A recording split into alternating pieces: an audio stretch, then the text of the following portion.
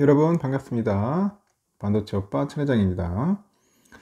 어, 오늘도 마지막 방송 시간이 어, 다가왔어요. 오늘도 어김없이 다가왔습니다. 어, 매일 방송을 하니까 어, 이게 시간이 어떻게 흐르는지를 모르겠어요. 그냥 하루하루가 빨리 가는 것 같습니다.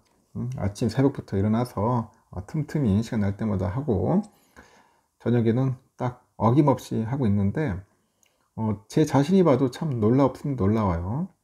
하루도 안 빠지고 했으니까 놀라운데 앞으로 이렇게 변함없이 했으면 좋겠습니다. 음, 언젠가는 또 저도 뭐 지쳐가지고 힘들고 또 일이 있어서 못할 수도 있을 거예요. 음, 사람인지라 어쩔 수 없죠. 아, 그래도 최선을 다하면서 한번 해보도록 하겠습니다. 여러분에게 조금이라도 도움이 되었으면 좋겠어요. 어, 오늘은 보니까 국내 주식시장이 장 초반만 해도 그 전날에 하락세를, 하락세를 약간 만회하는 듯한 뭐였어요. 음? 그 만회하는 듯해 보였는데, 결국 뒷심이 부족하더라고요. 뒷심이. 어, 전날에 뉴욕 증시에서 불어온 반도체 훈풍에 이 코스피하고 코스닥의 지수가 일제히 상승 출발했어.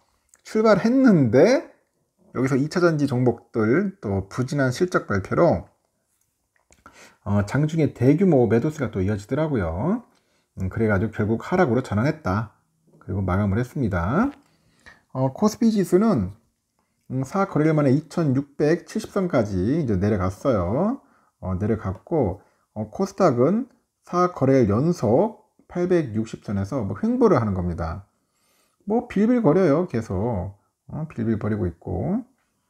어, 유가증권 시장에서 코스피 지수는 전거래보다 7.02포인트 음, 하락을 해가지고 2676.63에 거래를 마쳤죠.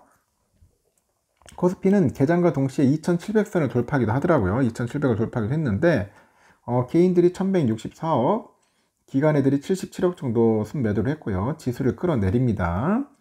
어, 결국에 초반에 상승분을 반납을 했고 2670대로 마감을 했어요. 어, 외국인들은 홀로 935억 정도 사들입니다. 이날 유가증권 시장 시가총액 상위 종목 중에 보니까 1분기 영업이익이 4,393억 기록을 합니다. 어, 역대 최대 실적을 쓴 네이버, 이 네이버가 음, 3.07%를 제외하고 눈에 띄는 상승세는 없었어요. 오히려 자동차주의 낙폭이 좀 컸어요.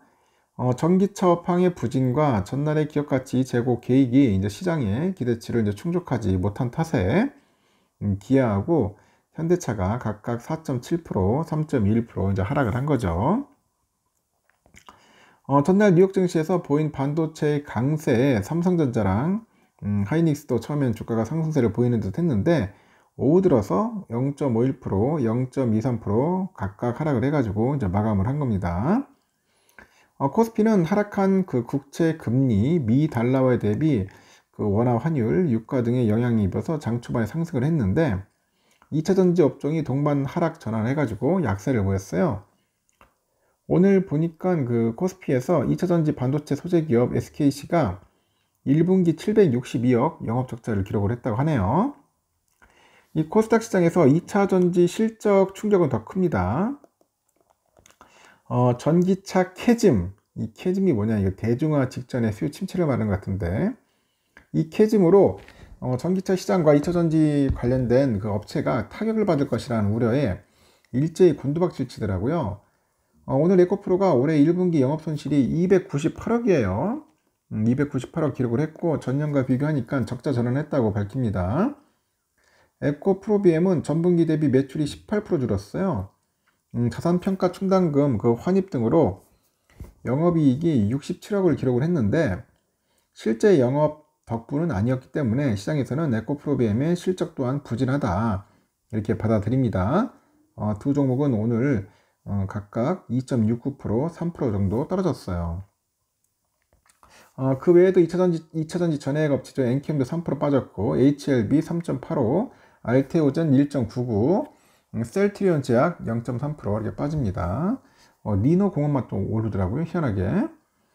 어, 2차 전지하고 바이오 종목들이 잇따라 내리다 보니까 이날 코스닥 지수가 전거래일 보다도 1.89포인트 음, 정도 내려가지고 865.59에 거래 마쳤는데 어, 개인들과 외국인들이 각각 145억, 364억 정도 순매도를 했고 음, 기간만 홀로 565억 정도 순매수를 한 거죠.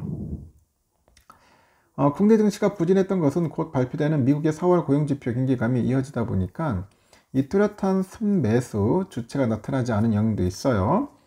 어, 외국인은 코스피 200 선물을 5,470억 정도 규모로 순매도를 해가지고 어, 지수 하락에 배팅했습니다.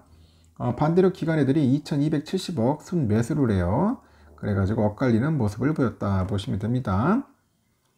어, 그리고 3일에 발표되는 미국의 4월 비농업 고용자 그 수가 예상보다 높게 나왔어요. 그 금리나 시점이 미뤄질 가능성이 크다. 그런 이야기를 합니다. 이 노동 비용이 늘다 보니 인플레이션 압박을 압력을 키울 수 있기 때문이죠. 일단 또 시장에서는 어, 전월보다 감소할 것으로 예상을 합니다. 월스트리트 저널이 집계한 전문가 예상치에 따르니까 이 4월 이 비농업 고용은 24만 명 증가를 해서 어, 전월보다도 증가 폭이 줄어들 거라고 이제 전망을 하는 것 같아요. 어, 이달 미국의 연방공개시장위원회가 이제 시장이 우려했던 것보다 덜 매파적이어서 어, 금융시장은 안도하고 있다고 합니다. 4월 고용 보고서 결과도 중요한 만큼 시장에 관심이 쏠리고 있고요. 어, 다만 음, 금리 인하 폭의 그 축소에 대한 우려가 이미 지난달 주가에 선명했다고 분석을 하는 것 같습니다. 어, 그래서 이달은 전월보다 변동성이 크지 않을 것 같다. 뭐 그런 이야기도 있고. 오늘은 또 외환을 보니까 그 환율이 전날보다 13.1원이 나왔습니다. 1362.8원. 오늘 환율이 좀 많이 빠졌어요. 생각으로 쭉 빠졌습니다.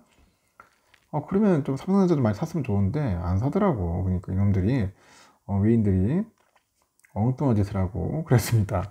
하여튼 오늘 삼성전자는 오늘 77,600원에 마무리됐어요. 아침에는 79,000원 실어겠다고 음? 79,000원 잘 가더니 계속 변동성이 있는 거야, 변동성.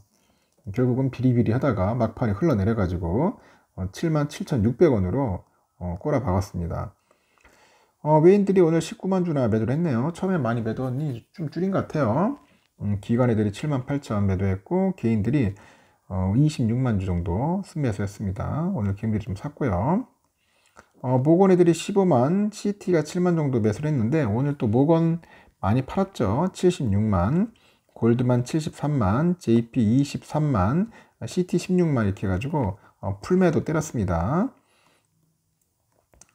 어, 우선주도 뭐 비실비실 됐어요. 비실비실, 비실비실 되다가 어, 결국은 6만 4,600원 마무리했는데 6만 5,700원에 시작해가지고 잘 가더니 결국은 쭉 흘러내리더라고요.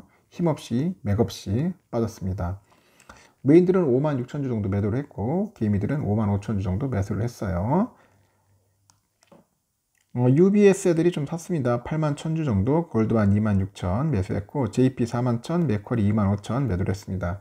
그 느낌은 그래요. 저는 어, 왠지 애들이 좀 비질비질 되면서도 조금씩 빼는 거 보니까 어, 조만간 한번 폭등이 오지 않을까 하는 생각이 들어요. 어? 갑자기 훅 올릴 것 같아. 어, 다음 주에는 좀 좋은 소식이 있지 않을까 저는 생각해 봅니다. 5월 어, 5일 어린이날이고 우리가 또 5월 6일인가요? 음, 5월 6일은 대체 공휴일이죠. 5월 7일 날 여러분들 장이 열릴 겁니다. 화요일 날. 화요일 날 아주 좋은 소식들이 있었으면 좋겠습니다. 어, 이걸로써 마지막 방송 마무리하고 여러분 편안하게 주무시고 내일 새벽 6시에 뵙도록 해요. good night.